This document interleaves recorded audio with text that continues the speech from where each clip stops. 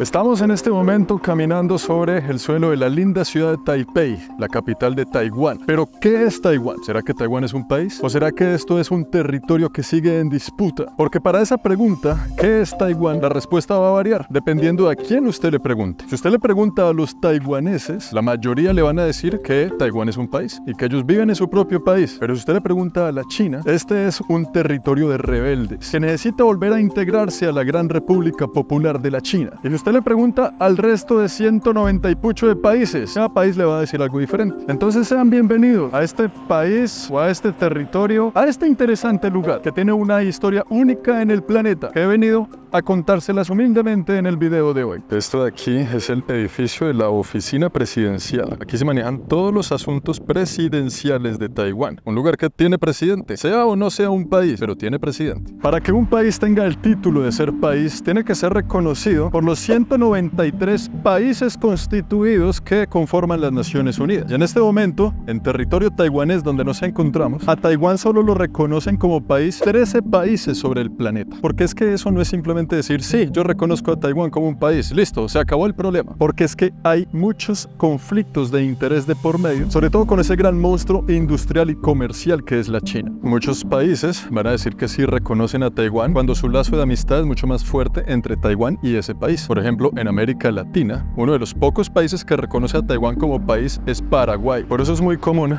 ver en este país muchos paraguayos, ¿no? Porque en agradecimiento Taiwán les otorga bastantes beneficios, sobre todo a los estudiantes para que vengan aquí, hagan sus carreras, les dan bonos, les ayudan a pagar aquí y allá, hay muchas becas y así sucesivamente. Pero si usted es otro país donde su lazo de amistad comercial es mucho más fuerte con la China que con Taiwán, a usted le conviene decir que Taiwán no es un país y reconocer la capital de Taiwán en Beijing, en la China, y no aquí en Taipei. Y ahí es donde la cosa se complica, sobre todo cuando ese conflicto involucra países con armas nucleares, como la China, y sí señores, otro de los protagonistas de esta historia, los Estados Unidos de América. Que no es de sorprender que los gringos también tengan asuntos con que lidiar por estas tierras del Pacífico. Pero los gringos han sido muy astutos con su estrategia, porque ellos no reconocen a Taiwán como un país, ya que quieren evitar conflictos con las Naciones Unidas y también conflictos con la China. Pero ellos sí apoyan a Taiwán en temas como el comercio, la economía y la seguridad. Los gringos firmaron un tratado con los taiwaneses donde ellos le garantizan la seguridad del pueblo taiwanés. Pero si los gringos no reconocen a Taiwán y al mismo tiempo los están apoyando, eso deja a los chinos más confundidos que esta estatua de Confucio que tenemos por detrás. Confucio, el cual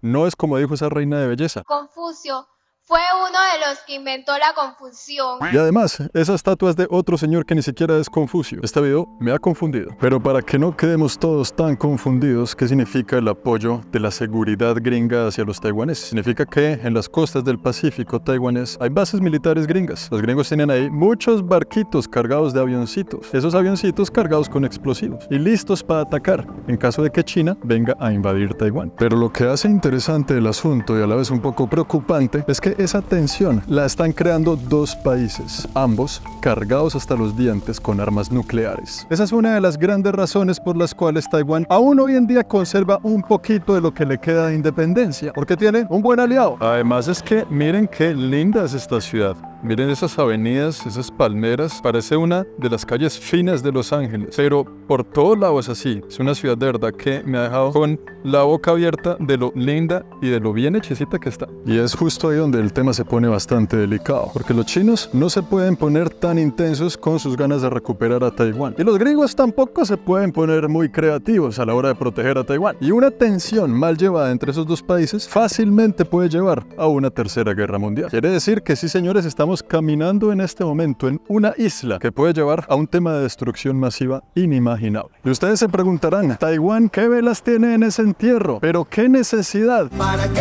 problema?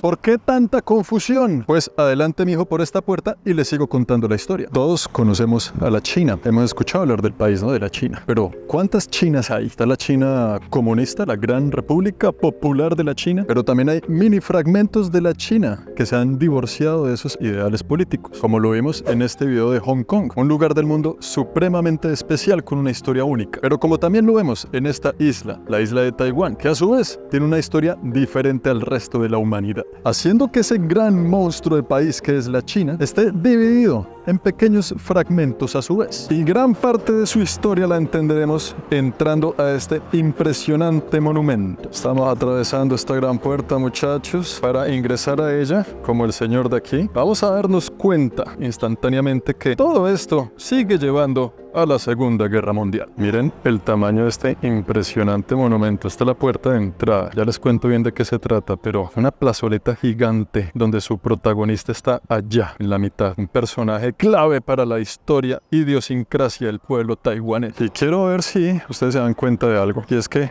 no hay nadie, ¿no? Alrededor. Pero si volteo la cámara, aquí está todo el mundo. ¿Por qué creen que es? Si se dan cuenta, ¿por qué hay gente aquí, pero no aquí? Y es porque Ahí está la luz del sol y aquí está la sombra. Estoy grabando este video a 38 grados centígrados con una sensación de humedad que ni siquiera quiero saber cuál es. Estoy derritiéndome gota a gota. Es impresionante. Resulta, pasa y acontece que los japoneses se rinden durante la Segunda Guerra Mundial, dándole fin a la misma, ya que los gringos se pusieron un poco agresivos con eso de Hiroshima y Nagasaki y la bomba atómica. Cuando Japón se rinde y pierde la guerra, le toca por obligación entregar todos sus territorios. Y uno de esos territorios invadido por los japoneses era esta isla, la isla de Taiwán. Los japoneses le quitaron este pedacito de tierra a los chinos, lo invadieron por más de 50 años. Y acá hicieron de las suyas, para bien y para mal, pero eso lo veremos con más calma en el próximo video de Taiwán, porque ahí se juega un papel fundamental a la hora de definir al pueblo taiwanés de la actualidad. Una mezcla muy coqueta y muy simpática de lo mejor de los dos mundos, el mundo de la China y el mundo de Japón, mezclado en esa linda licuadora que da un jugo especial, hoy en día conocido como Taiwán. Y esa influencia tan interesante de Japón aquí en la isla de Taiwán se ve en todas partes, en la cultura, en la gastronomía, en la arquitectura y en el desarrollo, en el sistema de trenes, que es un regalo de Japón hacia Taiwán. Y justo un par de años después de la Segunda Guerra Mundial, en China hubo otra de las tantas guerras civiles que ha habido en territorio chino. Pero ahí, seguidito, al par de años, se acabó la Segunda Guerra Mundial y ahora ¿qué hacemos? Sigamos dándonos bala entre nosotros. Una guerra civil en China que el objetivo era eliminar a todos los partidos políticos que estuvieran en contra del nuevo régimen de la China. Y uno de esos rebeldes anticomunistas de la China era nada más y nada menos que el señor que está en este edificio. Un caballero reconocido bajo el nombre de Chiang Kai-shek el cual vamos a visitar. Ahí está el hombre esperándonos, el viejo Chiang Kai-shek, a ver qué nos cuenta, qué memorias tiene de aquel entonces, alma revolucionaria anticomunista de la China, que vino aquí gracias a él prácticamente existe todo este pueblo de aquí llamado Taiwán. Vea todas estas escaleras, es que yo no sé si la cámara le hace justicia a la vaina, pero miren cómo se ven las personas de chiquitas al lado de la casa del señor que nos espera. Esa guerra civil en China estaba siendo liderada por dos personajes importantes, el famoso y reconocido Mao Zedong y el famoso y reconocido Chiang Kai-shek. Mao Zedong con su ejército rojo persiguiendo a todos los anticomunistas a todo lo largo de la China. Y este señor con ideales anticomunistas convenciendo al pueblo de que por ahí no era la cosa. Pero entonces el partido de Mao Zedong con su ejército rojo persiguiendo a todos los anticomunistas en territorio chino ganó la guerra. Era muy poderoso. Los comunistas chinos eran muy poderosos y hoy en día lo siguen siendo. Por ende, ese es el único partido político que existe en ese país hoy en día en la actualidad. Y estos rebeldes de la patria, ¿qué deciden hacer? ¿Qué haría usted en el caso de este señor de aquí? A estos rebeldes de la patria no les queda otra opción más que huir. Y huyen hacia el Pacífico, instalándose en una isla que queda un poco más de 100 kilómetros de la China. Sí, señores, adivinaron bien, la isla de Taiwán. El señor Chiang Kai-shek, que está aquí en este edificio, no se iba a ir así nomás de la China y ya. Él se trajo mucha gente poderosa que pensaba como él. Se trajo mucho dinero, mucho oro de la China. Y comenzaron aquí a instalar una nueva civilización. Una nueva China, pero con una visión política diferente. Y esos fueron los primeros cimientos de una nueva sociedad llamada Taiwán. Por eso hoy en día tenemos esta gran estatua dentro de este edificio, custodiada por dos soldados de carne y hueso, haciendo cambio de guardia una vez cada hora. Este líder anticomunista migra hacia Taiwán y con él más de un millón de seguidores que creían en una China distinta y se instalaron aquí más de un millón de chinos con una visión futurista independiente. Pero a que no adivinan qué? Sí, señores, a la China eso no le gusta ni cinco. Y el viejo Mao dice, pues si se van a esconder en Taiwán, yo voy hasta allá también para acorralarlos aún más, para seguir persiguiéndolos porque esa isla también nos pertenece. Y en teoría sí, Esta isla, pues, era parte de la China. O es. Es bien confuso el asunto. Pero cuando Mao estaba llegando aquí, ocurrió lo inesperado. Porque ¿qué pasa cuando se acaba la Segunda Guerra Mundial? ¿Qué pasa cuando ya se acaba prácticamente la guerra civil en China? Pues un tiempito nada más más adelante comienza otra guerra. La guerra en la península de Corea. Y ustedes saben muy bien que el problema es mucho más denso por allá, ya que estamos hablando de Corea del Norte y Corea del Sur. La Corea 100% capitalista, la Corea 100% comunista. Y esa Corea del Norte, allá la gente no está jugando, allá la cosa es en serio, porque también hoy en día ellos son uno de los pocos países que tienen armas nucleares. En ese entonces a la China le preocupaba un monstruo más grande todavía, la guerra entre comunistas y no comunistas en la península de Corea. Y dijo, bueno, dejemos que estos manes escapen a Taiwán, dejémoslos allá descansar un ratico. Vamos a mirar qué es lo que pasa en esos asuntos allá en la península. Y cuando la China volteó los ojos para mirar qué es lo que pasaba por allá, Taiwán volteó los suyos hacia el otro lado del Pacífico y encontró un aliado muy importante. Cuando la China se descuida, los taiwaneses firman un tratado con los Estados Unidos de América. Y eso al viejo Mao no le gusta ni cinco. El hombre dice, ah, estos manes cómo van a firmar un acuerdo con los gringos, hermano. Esa gente es más peligrosa que un tiroteo en un ascensor. Y ahora yo qué hago para defender a mi isla? Porque es que los gringos ya habían dado señales de locura. Hace unos años atrás habían acabado con Hiroshima y Nagasaki con una sola bomba. Una tecnología que solo los gringos tenían en aquel entonces, la bomba atómica. En aquel momento los gringos eran una amenaza fuerte, porque ellos eran los únicos con esa tecnología. Y como habían dado señales de ser bastante peligrosos, los chinos dicen, va a tocar dejar a Taiwán tranquilo por un tiempo. Pero yo no olvido, algún día recuperaré la isla. Y se pusieron las pilas. Hoy estamos ya en el 2023. Y China ahora también tiene muchas armas nucleares. Y el problema es que no ha olvidado que este pedacito de tierra es de ellos, en teoría. Mientras tanto, el líder taiwanés declara a esta isla como la verdadera República de la China. Y desde aquí comienza a cranearse todo un operativo para ir a invadir la China continental y liberar a todo su pueblo del comunismo. Desde esta pequeña isla, el tipo estaba montando un operativo, una inteligencia militar que no tenía precedentes. Un tipo muy ambicioso, Chiang Kai-shek. En ese entonces, Taiwán y la China eran el mismo país, pero con visiones políticas completamente opuestas. Y es justo ahí donde comienza ahora una guerra política. Una guerra sin armas. Una guerra para ver ahora quién reconoce a quién como país ante el ojo internacional. Es por eso y muchas razones más que Estados Unidos sí reconoció a Taiwán como un país. Pero un día por razones que jamás entenderemos, el presidente de Estados Unidos de la época se levanta de la cama, se hace un café, se prepara una tostada y dice, a mí eso de Taipei como capital de la República de China no me suena mucho. El señor tuvo algunas conversaciones con el que estaba a cargo de la China en aquel entonces, llegaron a algún tipo de acuerdo.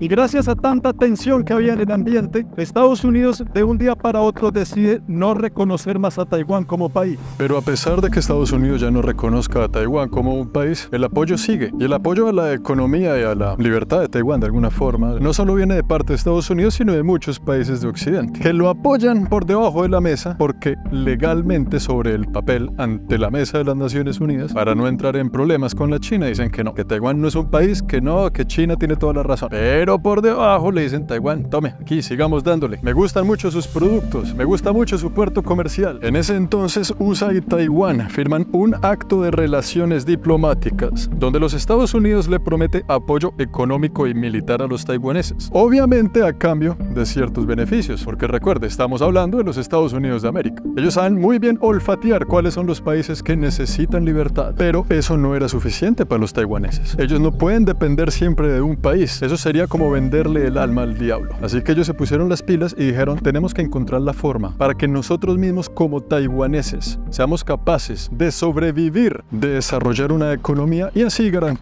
un futuro para nosotros. Y pues vaya que lo hicieron muy bien. Vean esta ciudad, es una locura, una belleza, la ciudad de Taipei en Taiwán. Antes de venir a conocer esta isla, sea un país o un territorio en disputa, hay varias cosas que toca tener en cuenta. Si usted necesita visa para ir a China, es posible que no necesite para ir a Taiwán o viceversa. Ambos países mantienen su independencia a la hora de sus relaciones internacionales. A pesar de que en Taiwán existe un idioma 100% autóctono llamado el taiwanés, la mayoría mayoría de la población habla chino mandarín, no como en Hong Kong, donde reina el cantonés. También toca tener en cuenta que al venir a Taiwán, la eSIM que debemos instalar en nuestro celular debe ser una eSIM para Taiwán, como si fuera un país independiente. La que yo utilizo en este y en todos mis viajes se llama HolaFly. Es muy recomendable que antes de cualquier viaje instalen una eSIM de HolaFly en sus teléfonos. En la página web pueden ver la gran cantidad de destinos que ellos cubren, ya que con una eSIM de HolaFly instalada, al momento justo de aterrizar en nuestro nuevo destino, solo con prender nuestro teléfono ya estaremos conectados para usar los mapas, ubicarnos, pedir un transporte, alquilar un hotel o avisarle a la abuela que llegamos bien. No hay nada más fastidioso que llegar a un país que no conocemos sin lograr comunicarnos, llegar a buscar una SIM o datos de alguna forma. No solo esto puede salir muy caro, sino que se pierde mucho tiempo en el asunto. En la descripción de este video les dejo el link de HolaFly. Guarden mi código promocional Planeta Juan para recibir un 5% de descuento. Pero ¿cómo fue que hicieron esta moderna ciudad, este moderno país con semejante infraestructura? Eso no es solo herencia de los japoneses. Se nos han dado cuenta que muchas de las cosas que tenemos allá en la casa son hechas en Taiwán. Made in Taiwan. Si no es hecho en China, es hecho en Taiwán. Los taiwaneses supieron adaptarse bastante bien al modelo de industrialización de los chinos, pero con una gran diferencia. En China hacen todo mucho más barato y en masa, en cantidades grandes. Aquí también lo hacen en cantidades grandes, pero ya no tan barato, un poquito más costoso, un poquito más de calidad. Y así los taiwaneses han sabido meterse en el mercado para vender muchos de sus productos al resto del planeta, volviéndose así una de las potencias de manufactura y de industrialización del planeta Tierra. ¿Y qué hace un país cuando le está yendo bien en materia de economía? ¿Qué hace un país cuando se está volviendo rico? Lo que hace cualquier otro país. Vamos a hacer la torre más alta del mundo para mostrarle al planeta entero que nos está yendo bastante bien. Y así es como deciden construir esta gran torre que se ve a mis espaldas, la 101, la cual fue la torre más alta del planeta por un par de años, pero sigue siendo la torre más alta de la isla de Taiwán. Es muy curioso eso de nosotros los humanos, ¿no? Nos está yendo bien, hagamos la torre más alta del mundo. A esa gente parece que le está yendo bien. Vamos a observar, no tienen torres grandes, es mentira, eso es puro cuento. Pero cuando vienen acá y ven semejante estructura, es verdad, a esos taiwaneses les está yendo bien, pero les quedó bonita la berrionda torre. Cuando los chinos ven todo lo que se está armando aquí en Taiwán, cómo esta gente se empezó a desarrollar, ahí los chinos dijeron, no hay los taiwaneses pusieron las pilas. Nos van a dejar por fuera ahora sí el baile como es. Venga más bien y nos sentamos a dialogar. Y así es como los chinos y los taiwaneses por primera vez en muchos años comienzan a dialogar para ver cómo se van a repartir esa gran tajada del pastel. Algo que sobre el papel le conviene mucho tanto a los chinos como a los taiwaneses. Y es por eso que es normal ver muchas empresas taiwanesas en China, muchas empresas chinas en Taiwán. Pero usted sabe que los chinos no olvidan y ellos quieren recuperar a Taiwán, independientemente de cualquier lazo de amistad que tengan hoy en día. Amistad comercial amistad con asterisco abajo y letra pequeña. Ya es donde los chinos encontraron el papayazo. Por aquí podemos meternos en territorio taiwanés. Es justo ahí cuando los chinos piensan, si tenemos un lazo económico bien fuerte con los taiwaneses, sería mortal para Taiwán confrontar a China en temas más profundos. Y China convence a Taiwán que para seguir adelante con este boom económico que estamos experimentando, necesitamos inevitablemente unirnos de alguna forma. Y miren cómo se ve de linda la torre desde aquí. Ya se está acabando el día, está comenzando un bello atardecer, uno de los barrios más prestigiosos y exclusivos de la ciudad de Taipei. Y justo aquí, el pulmón de la misma, una montaña, unas escaleras, las cuales vamos a subir, sí señores, para ver un lindo atardecer de la ciudad y terminar con este video, con estas espectaculares vistas de la misma. Y así es como China y Taiwán abren sus puertas mutuamente. Comienzan a haber vuelos directos entre los dos países, también se ve libre comercio entre los dos países y todo pinta bien, hasta que en algún momento la cosa pinta mal. Porque todo muy lindo sobre el papel, pero la parte cultural, la idiosincrasia del taiwanés ya estaba muy alejada de la de los chinos. Cuando estos lazos de amistad se recrearon, en esos aspectos ya era demasiado tarde. Es hasta el año 1991, cuando el primer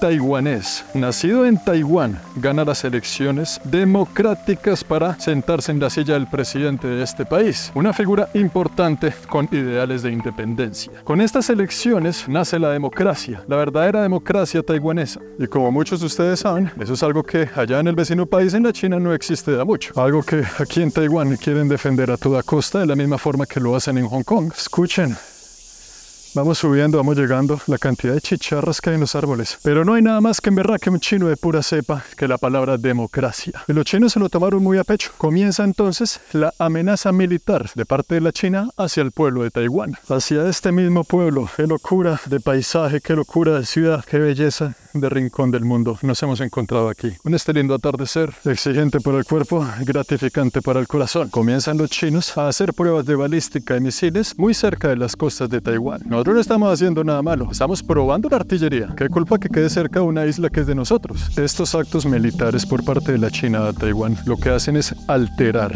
la paz mental de los habitantes del país. Y sobre todo lo hacen para evitar que Taiwán votara por más líderes independentistas. Para terminar con esa maldita palabra taiwanesa nueva en el vocabulario llamada democracia. Los Estados Unidos responde con un desfile de aviones en Taiwán y le dice a los chinos, ¿a qué quieren jugar y jugamos? Así la China se ve que los gringos están hablando en serio. Pasan los años y pasan los años. En el 2005 se firma un tratado en China de anticesión del suelo taiwanés, declarando que si toca entrar en Taiwán, a las malas lo van a hacer. Eso quiere decir que el ejército de los chinos ha ganado mucha confianza en sí mismo. Y ya han pasado tanto los años que tanto Estados Unidos como la China son potencias militares mucho más importantes de lo que eran cuando terminó la Segunda Guerra Mundial. En Taiwán responden con quitar lazos comerciales con China. China sigue sobrevolando aviones de guerra sobre Taiwán y así sucesivamente. Taiwán no quiere ser comunista, no quiere ser China. Ya han pasado casi una o dos generaciones enteras. Muchos taiwaneses nacen y seguirán naciendo en este suelo siendo taiwaneses. No se identifican con la China de hoy en día. Mientras tanto, China sigue peleando para que Hong Kong acepte por las malas o por las buenas que sea parte de ellos. Y esto Taiwán lo ve como una amenaza de lo que podría ocurrirles también a ellos en un momento. En el 2020, China sacó un video de propaganda mostrando cómo las fuerzas militares de los chinos destruían las bases militares de los gringos cerca de Taiwán. Una advertencia de lo que se viene. Así que la pregunta del millón es, ¿será que los Estados Unidos todavía hoy en día tienen lo que se necesita para defender a Taiwán? ¿Será que realmente los Estados Unidos quiere una tercera guerra mundial